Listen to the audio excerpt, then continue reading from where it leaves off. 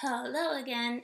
Okay, so this week's vocabulary strategy is context clues, but more specifically antonyms. So we already know, based on our grammar, this is something that we do on a daily basis, we know that antonyms are basically the opposite of a word.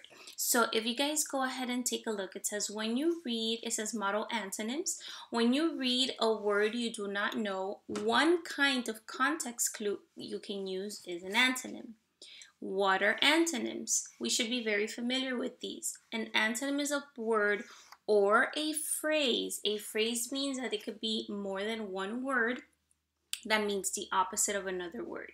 Okay, so you guys should have already read Your World Up Close um, a couple of times, two times at the minute at least. So as we read your world up close, you may find that you can you should have found that you can use antonyms to help you figure out the meanings of unfamiliar words.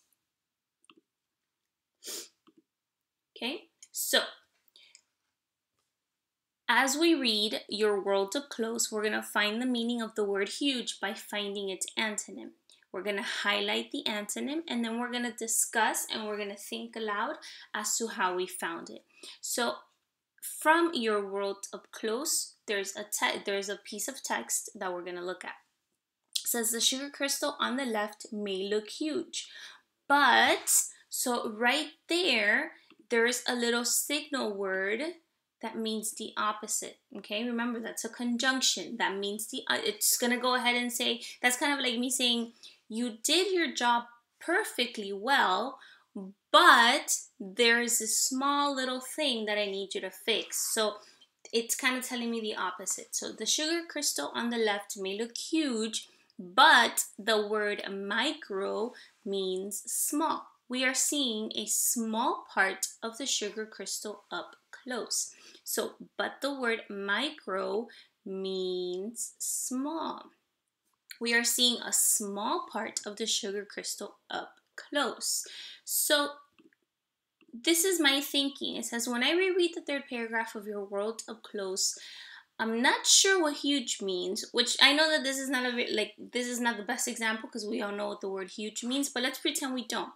I'm not sure what huge means we can use the definition of the word micro or small to figure out what it is. Because remember that I told you that there's that little opposite word here, right?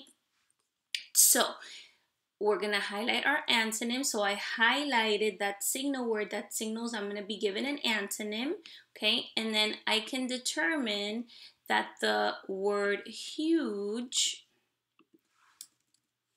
huge means large, or big because here the antonym or the opposite meaning that they're giving me is the word small.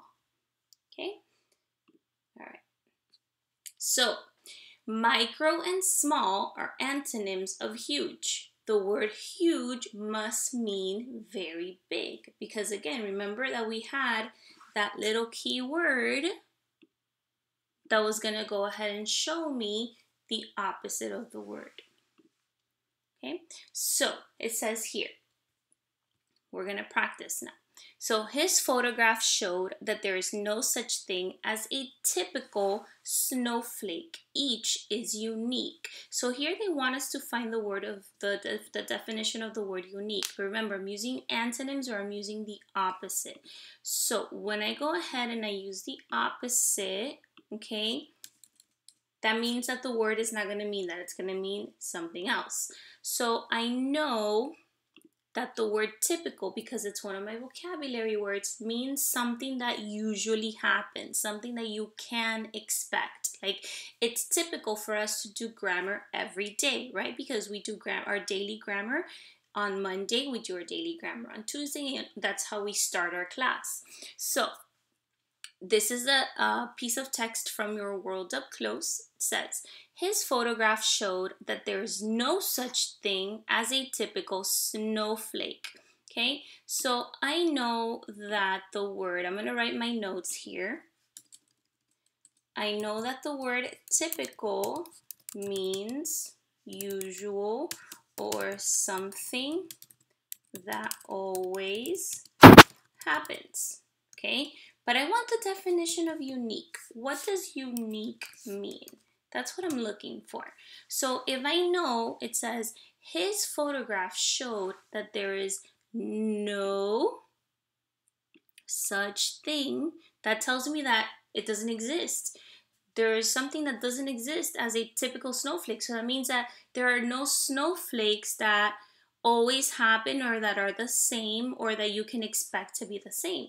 So each is unique. So that tells me, since I'm doing antonyms, which is the opposite, that tells me that the word unique must mean, or the word unique might mean something that is not typical, meaning it is unusual or not expected. Okay? Or not expected.